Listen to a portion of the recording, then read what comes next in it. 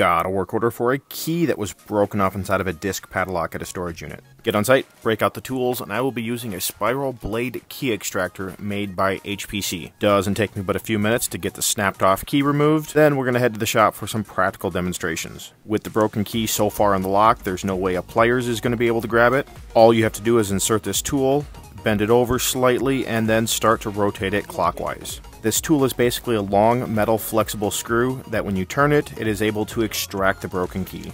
A bunch of these disc padlocks only have one key, so we're to head to our key room and get a bunch of them copied. Unfortunately, about halfway through, we did run out of blanks, so we're to have to get a few more ordered. But for today, we're done with this and on to the next project.